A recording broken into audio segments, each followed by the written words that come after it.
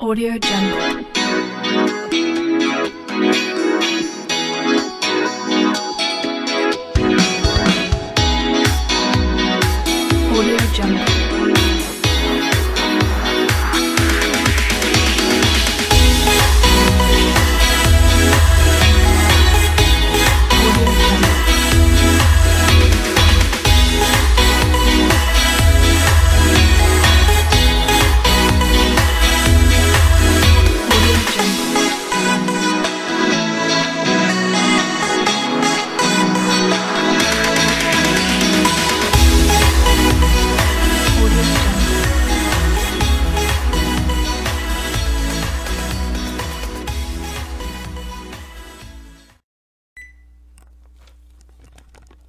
Cambio de los seres vivos en el tiempo. Como se ha visto, los seres vivos no han sido los mismos desde que se originó la vida en la Tierra. Por medio de los fósiles se han encontrado y sabemos que estos cambios han sido progresivos. A través de ellos se conocen cómo eran los organismos de otras épocas y sus diferencias comparadas con los que hoy existen. Pues bien, ¿quién es la ciencia que estudia los seres vivos y su antepasado?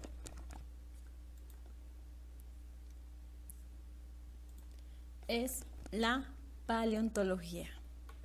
El término tiene origen griego en palaus, que significa antiguo, onto, ser y logos, ciencia. Pues bien, entonces la paleontología es la ciencia natural que estudia e interpreta el pasado de la vida sobre la Tierra a través de los fósiles. ¿Y qué es lo que estudia la paleontología? La paleontología analiza la fosilización de los restos fósiles, la reconstrucción de los seres vivos ya extintos. Al igual estudia el origen y la evolución de estos. De igual manera, las relaciones entre ellos y su entorno. Un ejemplo puede ser las migraciones que han sufrido estos seres. Si la paleontología estudia los fósiles, ¿qué es un fósil? La palabra fósil proviene del latín fossilis, que a su vez deriva del verbo foderet, que significa excavar. Los fósiles son restos petrificados de organismos que vivieron en épocas remotas. Pueden ser huellas, marcas o partes de algunos animales y pueden ser conservados en rocas sedimentarias o en algunas veces y muy extrañas en hielo. Los animales que solemos encontrar son animales vertebrados, invertebrados, en este caso los insectos, y algunas plantas. El hallazgo más importante fue la bebé mamut, llamada Liuba una cría de mamut que murió hace 42 mil años en Siberia, con tan solo un mes. La bebé mamut se ha conservado intacta durante todo este tiempo hasta que en el 2007 fue descubierta por un pastor de renos. La cría de piel lanuda, que conserva pequeños colmillos de leche apenas visibles, mantiene sus órganos intactos y solo presenta un defecto en la cola, que habría sido mordida por algunos animales. Los expertos creen que el uva se ahogó mientras intentaba conseguir agua y que cayó en el barro, que después se habría solidificado. Esto permitió su buena conservación. Es una mamut bebé y los expertos dicen que no es un fósil. No estamos hablando de un esqueleto, sino que es un mamut entero con su carne, su piel y su trompa. Otros de las investigaciones más recientes en el 2019 fue el lobo prehistórico. Un grupo de científicos rusos y japoneses anunció el reciente hallazgo de una cabeza de lobo perfectamente conservada que data desde hace 40.000 años. La cabeza del animal preserva íntegramente el pelo, los colmillos, las orejas y los huesos. Y se cree que se trata del primer ejemplar encontrado de un lobo pleistoceno. La cabeza del lobo, que data desde hace 40.000 años, preserva íntegramente todas sus partes. Los expertos creen que la cabeza del lobo resultó de una manera natural, a causa del desprendimiento de algún fragmento de hielo que lo mantenía conservado. Pues bien, si la paleontología al igual estudia la morfología, los aspectos de los seres vivos, ¿qué es la morfología?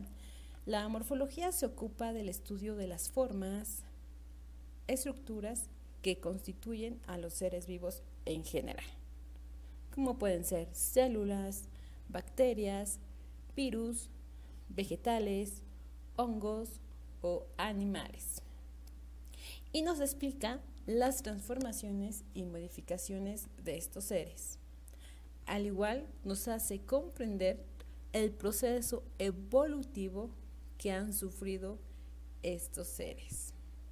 Un ejemplo muy claro serían las bacterias. Las bacterias tienen una morfología extensa. La podemos encontrar en forma de cocos, diplococos, cocos en cadenas, cocos en racimos, cocos en tetradas, cocos en forma de bacilos y otras bacterias que son bacilos, bacilos bordes, eh, bacilos en bordes rectos, eh, bacilos en fusiformes, una alta morfología entre mm, lo que son las bacterias. Al igual son las espiroquetas.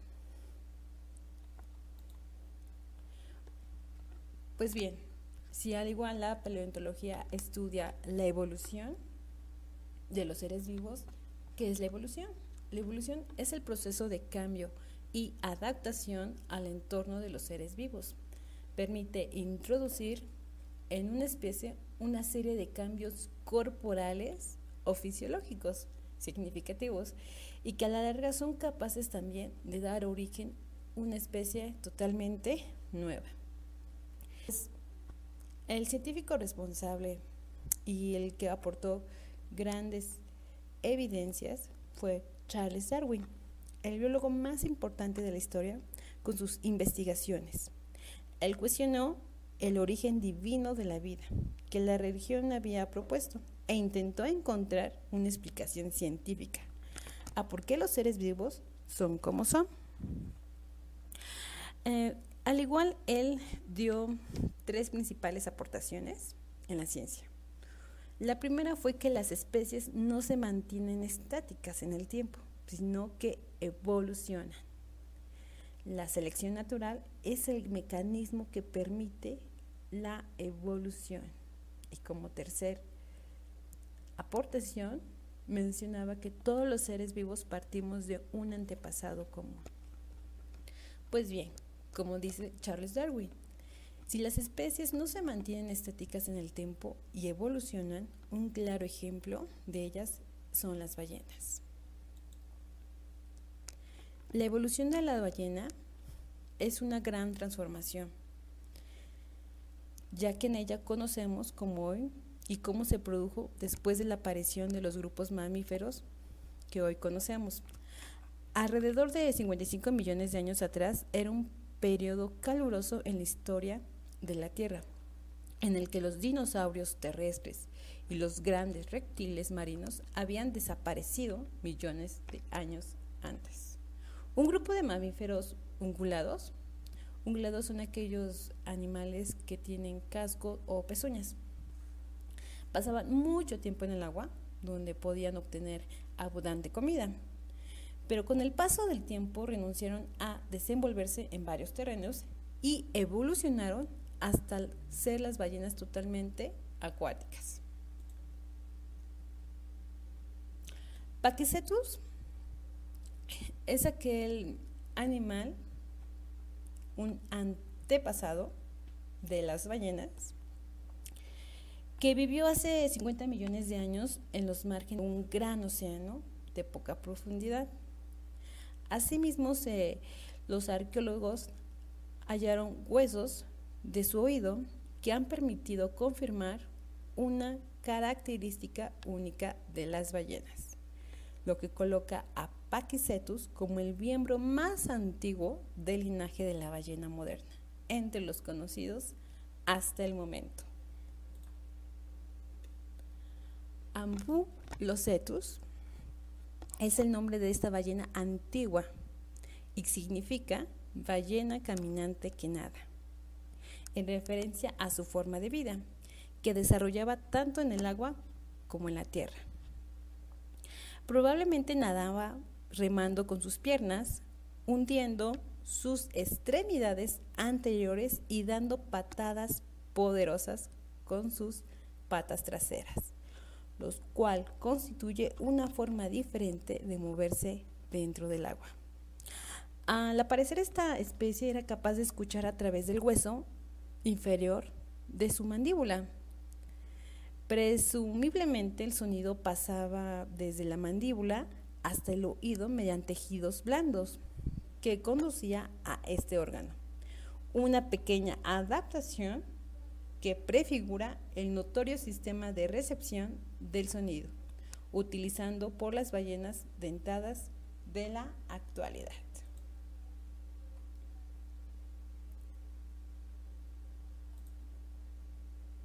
Pues bien chicos, eh, la actividad del día de hoy será realizar el apunte del video tutorial, lo más importante, con algunos eh, eh, dibujos para que sea un poquito más clara la información.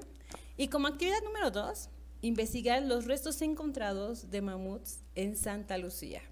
Una noticia que fue realmente sorprendente en estas semanas. Eh, la información debe incluir eh, imágenes y la fecha en que se dio la noticia. Les haya servido este tutorial chicos y nos vemos en la plataforma Zoom para que surjan dudas y corregir algunas preguntas. Hasta luego.